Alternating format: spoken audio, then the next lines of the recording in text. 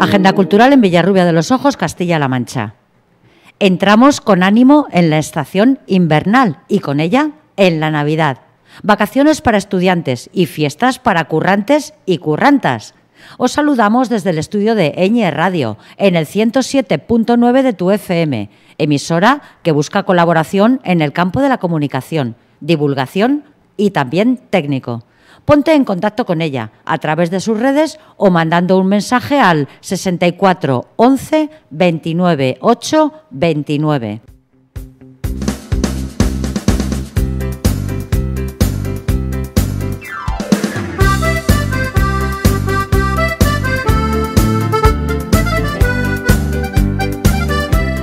Esta semana vamos a ver más el sol, que ya lo echamos en falta, aunque para antes de fin de año puede que vuelvan las precipitaciones, quizá el viernes, que siguen viniendo muy bien. Lo apreciamos en las siembras, en los arroyos y cauces de ríos, y en ir sorteando charcos por los caminos. Las temperaturas, tanto diurnas como nocturnas, van bajando, pero no tanto como para que alcancemos los bajo cero todavía. Los días en que luzca el sol, la temperatura rondará los 15 y 16 grados.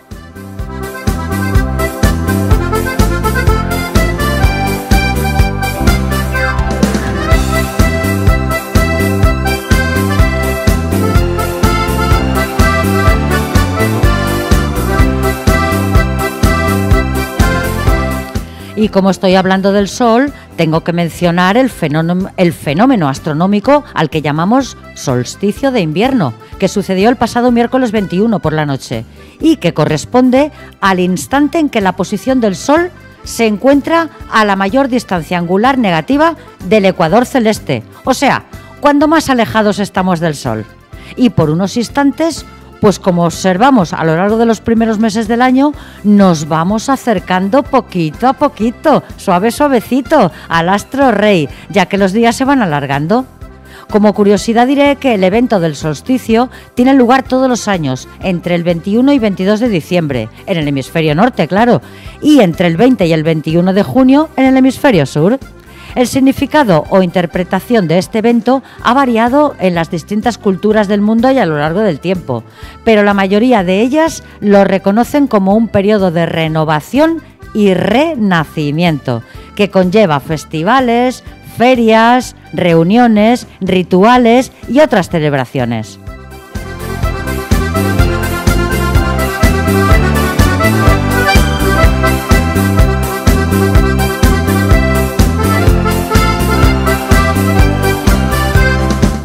Comenzamos la agenda del viernes 23 al viernes 30 de diciembre del 2022, última semana del año y comienzo del periodo navideño.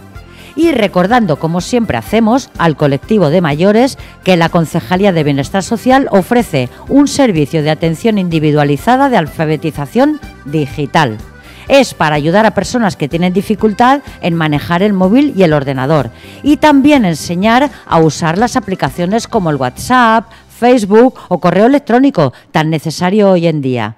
No olvidéis de concertar cita en el centro de día para un mejor servicio, de lunes a viernes de 8 a 2 de la tarde o en el 926 89 81 37.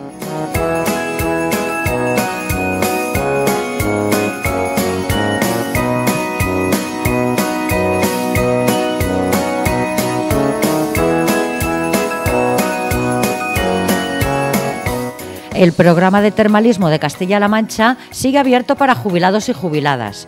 Las solicitudes debéis de presentarlas en el centro de día para mayores de lunes a viernes, de 9 de la mañana a 2 de la tarde, excepto los martes. Para más información podéis llamar también al 926 89 81 37.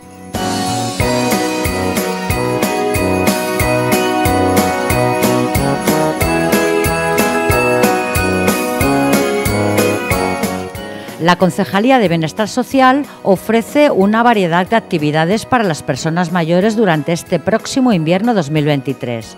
No hay mejor medicina que una buena alimentación sin tóxicos y mantenerse en buena forma física, incluso durante los meses de frío, ya haga frío o llueva, porque nos dan aliento de vida.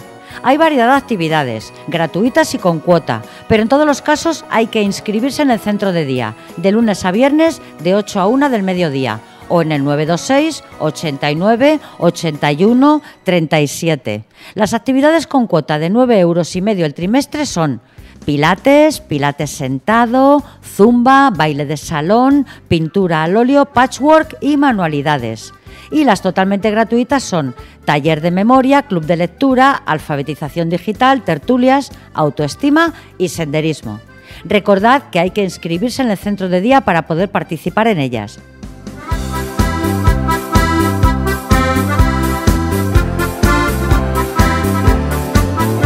Ah, y el recordatorio para los puntos de inclusión digital. PIT, los puntos PIT.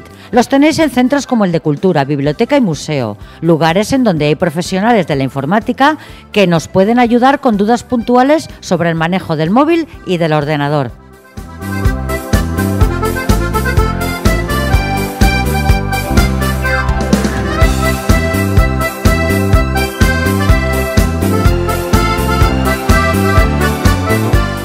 Como ya sabéis, está en marcha la decimonovena ruta de Belénes de Villarrubia. Ya sabéis, Belénes del ámbito privado que se pueden visitar en estas fechas.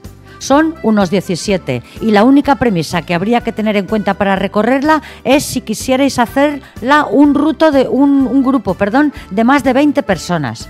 Si este fuera el caso, tendríais que llamar antes al 616 05 97 77. Repito, 6 16 05 97 77. Esto es para grupos de más de 20 personas. La ruta de Belénes es visitable hasta el 17 de enero del próximo año. Tan cercano ya, ¿verdad? En turismo tenéis folletos con la relación de todos los Belénes de la ruta y su ubicación. Bueno, no hace falta decir que en la glorieta de abajo podemos admirar el Belén que la Asociación de Belenistas junto al Ayuntamiento expone cada año con ilusión y creatividad. Como también está expuesto en el Parque de la Paz el colorido árbol que las agrupaciones feministas de Pueblo Amas de Casa y Viudas confeccionaron el año pasado con labores de ganchillo.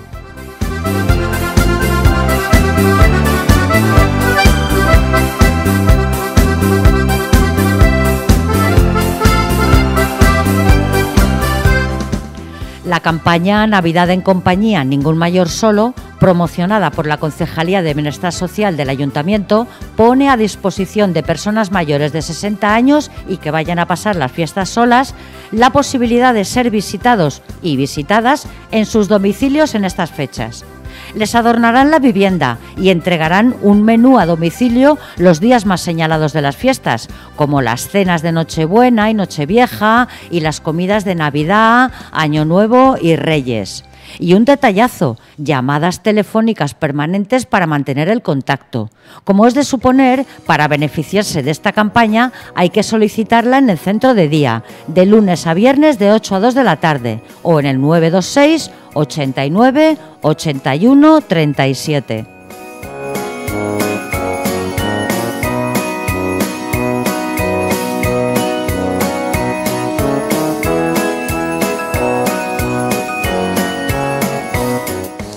Lo sabemos prácticamente todo el pueblo y es que Sol Villanueva siempre estará con la noticia. Esta vez ella es la noticia, pues estará en la Casa de Cultura el martes 27.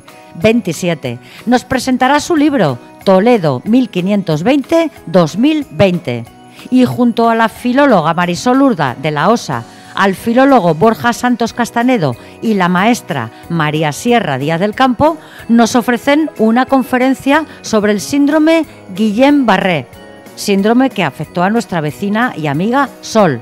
Recordad, ella nos presentará su libro junto a la conferencia el martes 27 a las 6 de la tarde en la Casa de Cultura.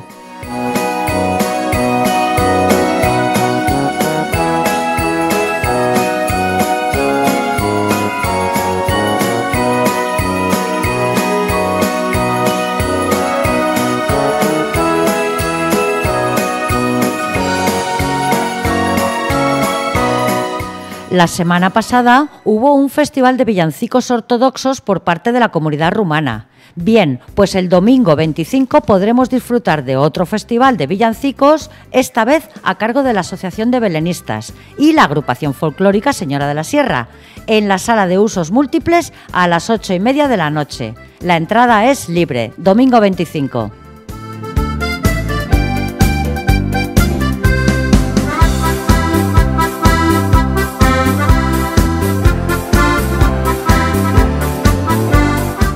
La Concejalía de Deportes ha preparado una serie de actividades deportivas para que los y las más pequeñas puedan seguir practicando sus deportes favoritos durante las vacaciones escolares.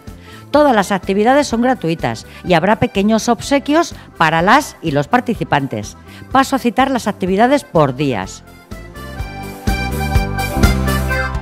Bueno, el domingo 18 de la pasada semana se realizó una exhibición de gimnasia rítmica realizada por las alumnas de las escuelas deportivas Club Lira. Y ya el lunes 26, Triangular Fútbol 8, categoría Benjamín, a las 9 y media en el campo municipal de, municipal de fútbol. El martes 27, torneo de baloncesto 3x3, las categorías alevín, infantil y cadete a las 10 en el pabellón de deportes y la categoría senior masculina y femenina a las 8 de la noche también en el pabellón.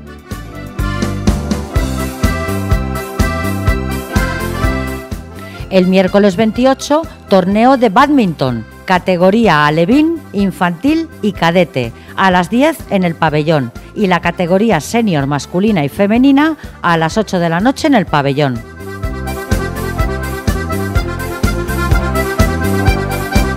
El jueves 29, competición de atletismo, velocidad y fondo. Categorías Benjamín, Alevín, Infantil y Cadete, a las 10 en el campo municipal de fútbol. El sábado 31 se celebra el primer maratón de pádel de Villarrubia, en todas las categorías, desde pre-Benjamín a cadete. Para más información y poder realizar las inscripciones, pasaros por el pabellón de deportes. Vive el deporte en Navidad.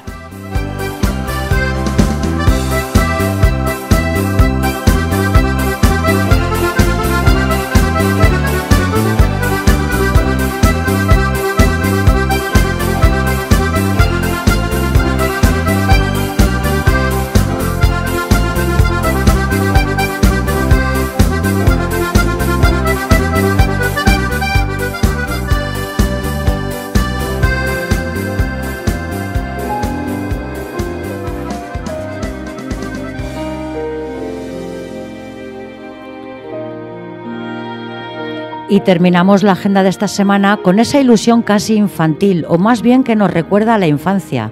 Esa ilusión, como decía, de juntarnos, de compartir, de comentar, procurando no emitir juicios, cosa difícil esta, porque ¿cómo no posicionarnos ante hechos que ocurren en este siglo XXI que nos parecen arcanos? Y estoy pensando, por poner un ejemplo, pues ahí tengo en la cabeza varios, en la compleja situación que ha puesto el gobierno afgano al colectivo de mujeres, o sea, a la mitad de la población de ese país. Decían dos autores en el siglo pasado que hay otros mundos, pero están todos dentro de este. En este planeta donde apostamos por la globalización y nos enteramos de todo lo que acontece en él casi al momento, es difícil quedarse indiferente ante acciones que apuestan por el anulamiento de la voluntad humana, el retorno a la caverna. Es como si nos ofendieran a todos y todas un poco. Suponemos que cuando pasen los años o siglos nos echaremos las manos a la cabeza poniendo en duda que hayan ocurrido estas cosas en la era tecnológica que nos encontramos, como lo podemos hacer ahora cuando echamos un vistazo a lo hecho durante la Edad Media.